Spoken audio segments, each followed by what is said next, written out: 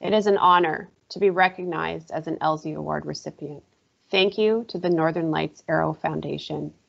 It is also quite humbling to be recognized alongside all the other award recipients, peers that are real pioneers in their fields. Congratulations to all of you. This award is significant to me on a professional and a personal level. My passion for aviation started at an early age, even before my career began at Bombardier 22 years ago. My father immigrated to Canada to work for de Havilland in Toronto in 1963. I commenced my career in 1998 at Bombardier, and my father retired one year later after 36 years of service. You can say that aviation is in our blood.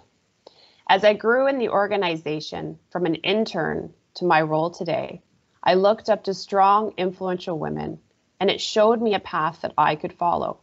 I was able to see myself as a leader, in part thanks to them, even in an industry traditionally dominated by men. I'm a proud advocate of diversity, inclusiveness, and equality. Do not occur naturally. So that is why I'm an activist for diversity in my organization and in the industry. I enjoy coaching and mentoring young women, and I'm a firm believer if you can see it, you can be it. If in any way I succeed in playing a small role towards influencing our future generation of women leaders who aspire to a rewarding career in aviation, then I will have made a difference. On that, let me again thank the Northern Lights Aero Foundation for this award. I will display it with great pride and honor.